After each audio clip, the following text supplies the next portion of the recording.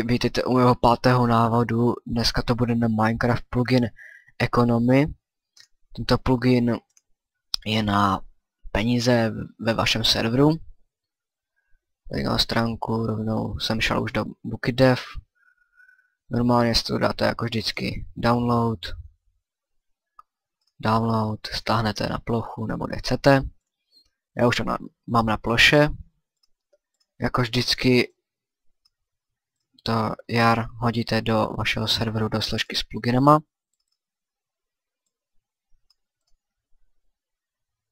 Pak spustíte nebo restartujete svůj server.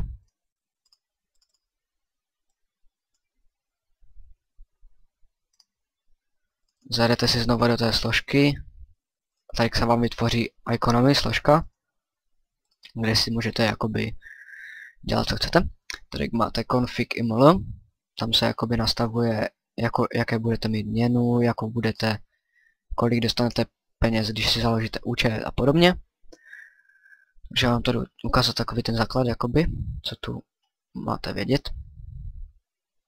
Takže tady máte default, tady tohle vás asi jenom bude zajímat, nic víc asi nepotřebujeme to moc tak vědět.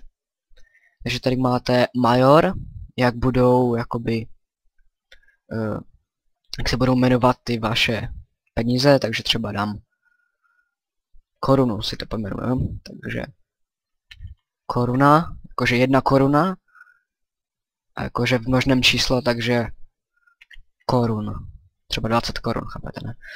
Minor, tady si to můžete nastavit třeba haléře, nebo jak chcete, ale mi to je, nefunguje, nevím proč. Takže e, možná, že když to zprovozníte, tak to musíte taky přepsat tady k account, kolik budete mít peněz, když si založíte účet, tak dám třeba 100. A tady už jakoby nic tak v tom konfigu neudělám. Z toho zakladu jakoby je to všechno, takže uložím. Tady ještě v template email si můžete nastavovat barvy, jakoby těch zpráv a podobně, jenom když se vám bude chtít. A zas, jak budete jakoby v tom konfigu to uděláte všechno, tak zase buď restartujete nebo reloadujete svůj server. Mám třeba reload. A rovnou můžem si jít ukázat do, na příkazy ve hře. Tak, jsme v ráci části a rovnou si můžeme ukázat první příkaz, to je lomeno money. Tady vám vyjede váš jakoby váš účet, kolik máte na účtu peněz. Takže jakoby já jsem si to teďka vytvořil, takže mám 100 korun, jak jsme si to nastavovali v konfigu. A korun, ne dolary, jak to většinou bývá. Uh, tady když napíšete money help, tak vám vyjedou všechny ty příkazy, jakoby.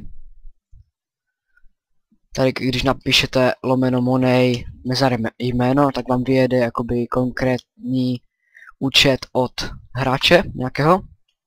Takže jakoby já jsem se dal na sebe, takže já mám 100 korun. Kdybyste náhodou jakoby chtěli vidět, kolik má někdo na účtě. Když napíšete Money Top, tak uvidíte, kdo jakoby vede v těch penězích, to, má, to můžete třeba na stránky dělat, nějak tak. Pak máte další příkaz Money Pie, třeba trapasník, jakože pošlete někomu peníze, takže Chci poslat peníze trapasníkovi a chci poslat 20 korun. A, jakože, chápete, ne, jakoby, jde to, když to nepostáváte sobě. Pak je další příkaz Money Create. Trapasník, to jakoby mi, by mi vytvořilo nový účet.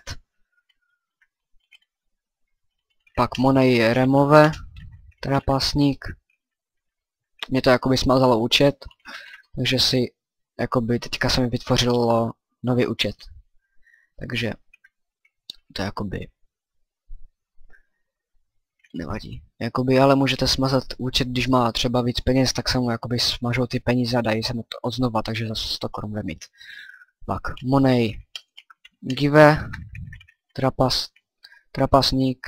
Tenhle příkaz můžete používat jen když jste admin nebo když tomu hráči dáte, to permis, aby tohle jakoby mohla givovat peníze. Takže já, já sobě třeba dám 200 korun. Aha, tak pardon. Teďka právě musím vytvořit ten účet. Create trapasník. Tak, účet vytvořený. A teď dám money set trapasník 200. A jakoby změnil jsem si počet peněz na 200. Takže teďka mám 200 korun. Pak tu je money set. Ne, to, to jsem teďka... To jsem teďka... Použil? Ne.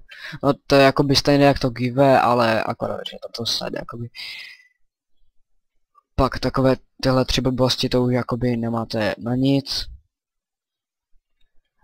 A to, takže permise budou pod videem. Všechny příkazy, no vlastně příkazy si můžete vypsat sami, to tam nemusím psát.